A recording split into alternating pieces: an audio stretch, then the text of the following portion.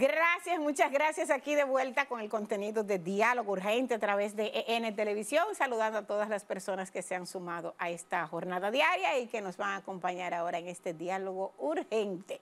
Roberto Ángel Salcedo, director general de proyectos estratégicos especiales de la presidencia PROPEP y además es miembro de la dirección ejecutiva del oficialista Partido Revolucionario Moderno. Los buenos días, bienvenido. un gusto para mí estar aquí, un honor, eh, y son títulos un poco largos. Por eso me eh, detengo y lo voy ah. despacio, sí. Don Roberto Robertico. Don Roberto es mi papá.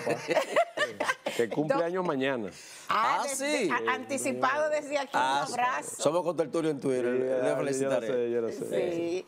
Roberto Ángel, Roberto Ángel. Eh, Roberto Ángel o Robertico, ¿eh? Eh, respeto. No, lo que pasa es que me dijo un amigo que yo he facturado mucho con lo de Robertico y no debo sentirme mal con eso. No, no, no, no. Ahora, uno se ríe, pero es verdad.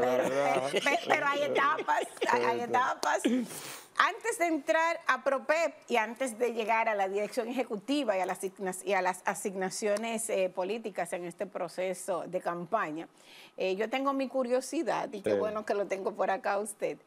Eh, ese paso, ese trance y la experiencia de estar en las cámaras, expuesto al público, pero en cámara.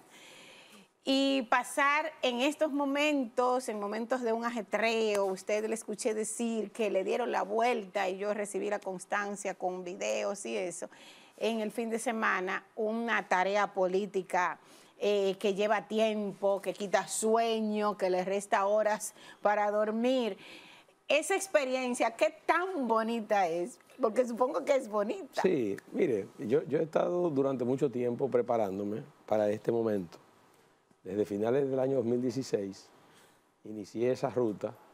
Había una etapa donde no era de dominio público, porque había un trabajo más tras las cámaras, como decimos en estos ambientes, un poco de backstage, en el sentido de que era una mayor preparación y mayor rigor del punto de vista intelectual, preparar las actividades privadas para que puedan, en un esquema como este, continuar, preparar anímica y emocionalmente también a la familia, porque esto supone, y es el pasivo de todo esto, eh, el factor se les resta tiempo de calidad a la familia, hay un sacrificio ahí.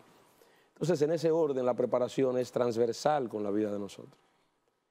Agoté a lo largo de estos años y creo que me he mantenido como un estudiante permanente de todo y cuanto ocurre en la política dominicana y en la política internacional. Son temas de mi interés, lo han sido de hace muchos años.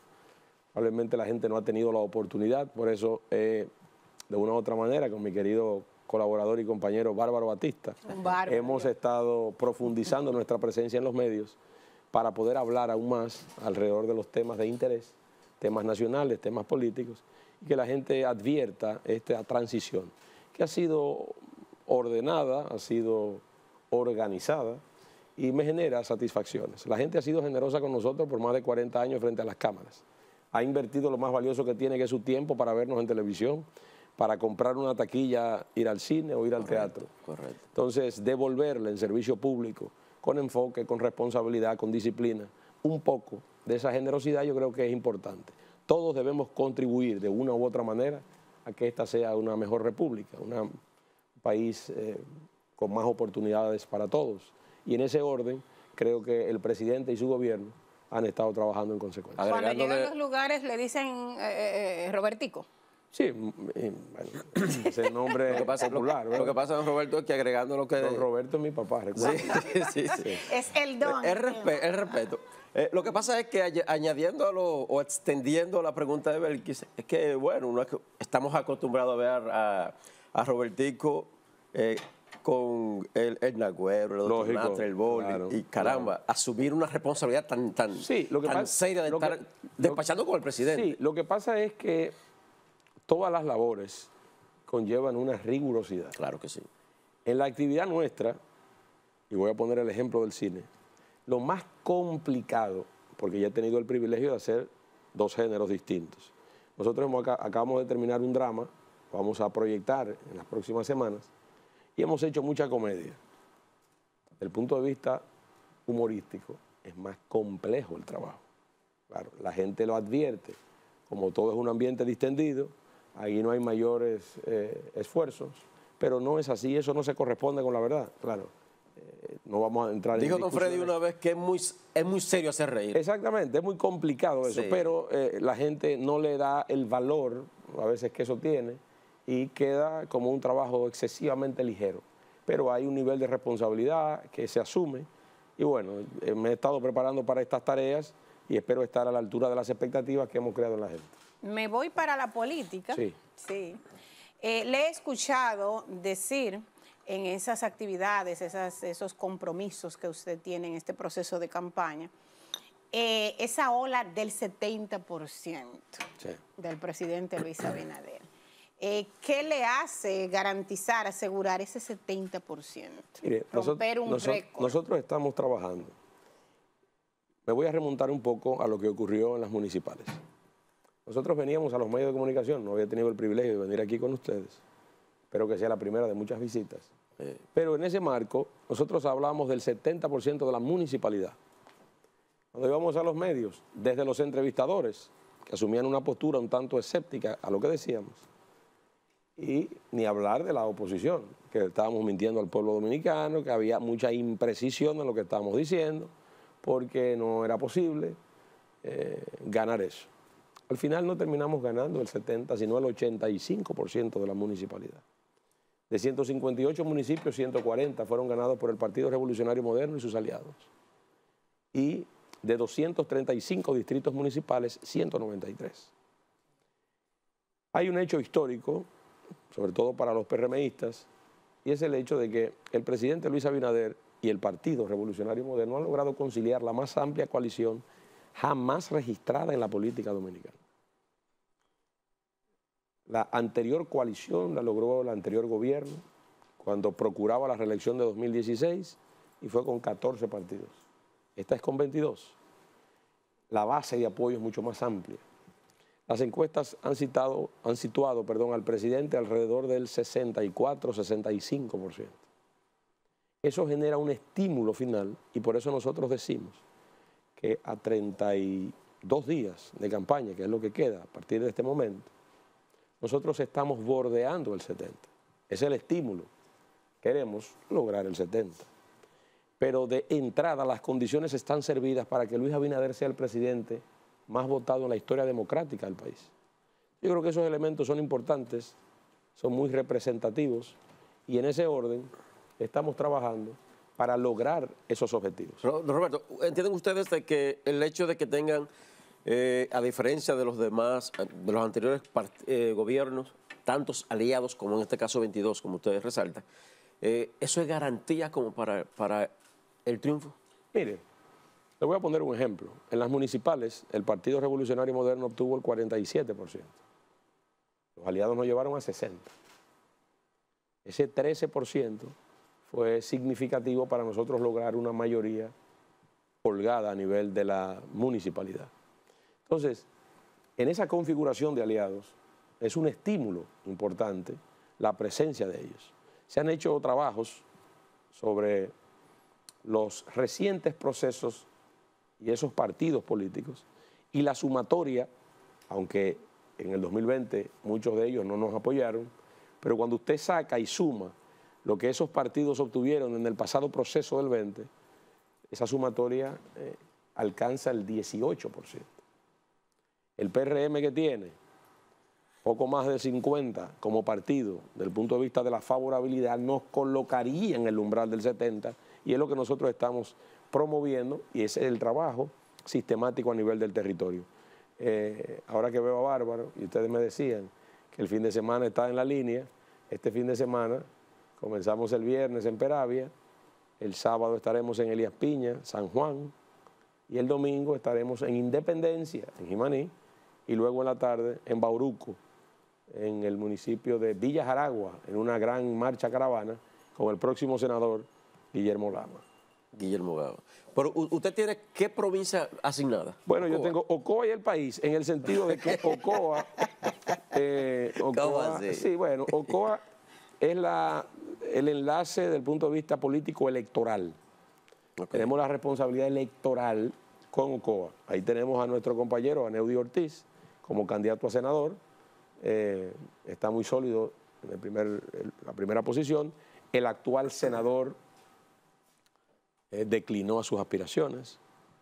Eso contribuye también al fortalecimiento monolítico ya que tiene el Partido Revolucionario Moderno. Y en una provincia como San José de Ocoa vamos a ganar ahí bordeando el 70. A propósito de Aneudi, don Roberto, yo, yo quiero iniciar esta pregunta.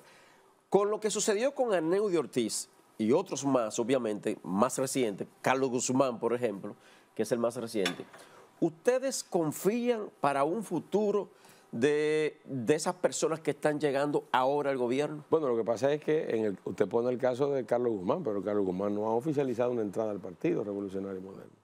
Tenemos que esperar eso. Pero en el caso de, de Aneudi Ortiz. Bueno, Aneudi sí. Aneudi vino al partido, era alcalde, senador, ha logrado un nivel de acoplamiento con la estructura, eh, un nivel de defensa a la gestión gubernamental y se ha comportado como todo un PRMista. Ha asumido la causa con entereza, se ha integrado a las labores partidarias también, ha generado un nivel de vinculación importante, empatía con la estructura del partido en todas las demarcaciones que componen a San José de Ocoa. Por tanto, yo creo que él y otros tantos eh, habrán de sumarse y acogerse a la línea partidaria, a la línea política, a los estatutos del partido, porque cuando usted presta juramento para llegar a una nueva organización, hay una serie de condicionantes que usted debe respetar. Y si usted se compromete a eso, probablemente lo que hoy le favorece, mañana no le puede a lo mejor favorecer. Y usted debe tener una actitud eh, vertical en ese sentido. Roberto, eh, eh, su reflexión, no lo voy a decir don, descuide, su reflexión, sugerencia, respuesta, en medio ya 32 días hacia las elecciones congresuales y presidenciales. gente que gana en un partido una candidatura para las próximas elecciones, gente que gana, que ganó en febrero una alcaldía desde otra organización política y que se muda de la noche a la mañana para el partido de gobierno. Y en medio de un ruido tan estruendoso como la compra, inclusive ahora se habla de que de comprando fiado. ¿Cómo es eso? Mire, yo creo que la política, como la sociedad misma, entra en un proceso de evolución permanente. Aquí tenemos un programa que aunque es de televisión, ya los componentes tecnológicos permiten que tenga una concepción multimedia. Podemos eh, descomponer esta entrevista en pequeños fragmentos y pasarla en redes sociales y en otras tipo plataformas. Exactamente. Correcto. Tipo Reels, lo que vemos en las redes sociales. ¿Qué ocurre? La política no escapa a esa realidad. Yo creo que desarrollar una campaña sobre la base de denuncias y la denuncia no tenga el soporte debido, creo que se queda eh, ya en un ambiente eminentemente eh, alegórico a la propia campaña. Y dentro del folclore de la denuncia, el que no se siente con posibilidades de ganar, algo tiene que decir. Pero creo que debemos entrar en una etapa de si usted va a plantear un tema, que sea con el debido sustento, que sea con la evidencia. Y esta sociedad tiene una cantidad ilimitada de información que toda esta disrupción tecnológica permite que nosotros tengamos acceso. Todos tenemos uno o dos dispositivos eh, digitales. Por tanto, tenemos acceso a información. Si usted se queda única y exclusivamente como dirigente político, están comprando, están comprando, sí, sí, pero ¿dónde? ¿Quién? ¿Cómo? ¿Bajo cuáles circunstancias? Eso nunca llega, eso nunca aparece. Eso no se ha podido estructurar de manera debida porque nadie ha podido evidenciar eso. Cuando yo le hacía la referencia de la campaña municipal, nosotros teníamos a través de las encuestas la certeza de lo que estábamos diciendo. Cuando planteábamos nosotros en los medios de comunicación que Betty Jerónimo iba a ganar en Santo Domingo Norte, no era por una alteración de la voluntad popular, era porque los números no estaban diciendo que cerca del 10, el 12% de diferencia iba a marcar Betty respecto de eh, el actual alcalde de Santo Domingo Norte. Lo propio decíamos con Dio Astacio en Santo Domingo Este. Las condiciones estaban servidas para que ganara y de manera holgada. Decíamos lo propio en Santiago con Ulises Rodríguez y hablamos que Ulises está encima y estaba encima por más de 20 puntos y al final fue lo que ocurrió. Entonces teníamos la fotografía del momento. Ahora, este mismo grupo de medios ha hecho varias encuestas. ¿Y qué arrojan las encuestas? Que cerca de un 80% de la población entiende que Luis Abinader va a ganar y va a ganar en primera vuelta.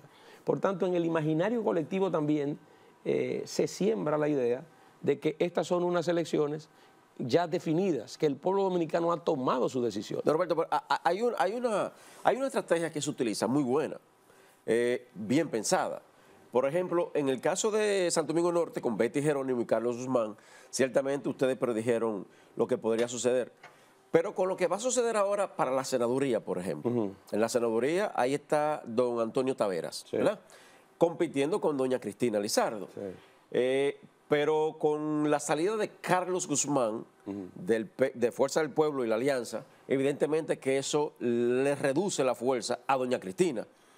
Usted dirá, pero que Carlos no va para, para PRM. No, pero va para eh, justicia social. O se va o se va de la gran alianza que es lo que quería eh, el, partido de gobierno, ¿no? Buscando esa estrategia. Eso no es que parte. quería. Usted dice que quería. ¿O que quiere? Eh, eh, el presente quería. entonces. No, el presente entonces. quería. O sea, eso no. Está bien. Entonces, lo que pregunta, a, lo que pregunta a ver, que yo le, yo le añado esto, no es parte de una estrategia quitarle fuerza a una candidatura tan importante como una senaduría, en este caso doña Cristina en Santo Domingo Norte, por vía de Carlos Guzmán, como en otros puntos, obviamente. Mire, no necesariamente eso obedece a una estrategia. En los años que Carlos Guzmán fue y ha sido alcalde en estos cuatro años, ha tenido una relación muy estrecha con el gobierno del presidente Luis Abinader. Esa es la realidad. Luis Abinader ha democratizado los poderes públicos y ha empoderado a las alcaldías y los gobiernos locales.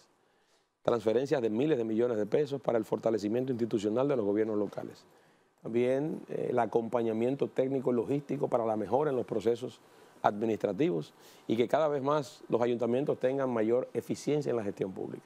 Todo eso se ha desarrollado en el gobierno del presidente Abinader y se ha generado empatía con muchos alcaldes. Muchos que han ganado y han venido con nosotros es un poco esa relación. En ese orden, en el año 2020, ya para las elecciones de julio, que fue cuando eh, se pudieron desarrollar por la pandemia, no sé si lo recuerdan, claro. Eh, ya Carlos Guzmán era alcalde y era alcalde en funciones de Santo Domingo Norte. Y Antonio Taveras ganó la senaduría. No, con esto no quiero restarle. Carlos es una persona con ascendencia en Santo Domingo Norte, tuvo un buen desempeño, sacó una, una buena puntuación en las elecciones municipales. Pero Antonio Taveras ya es senador y era senador antes. Nosotros vamos a ratificar ahora porque el partido está mucho más fuerte.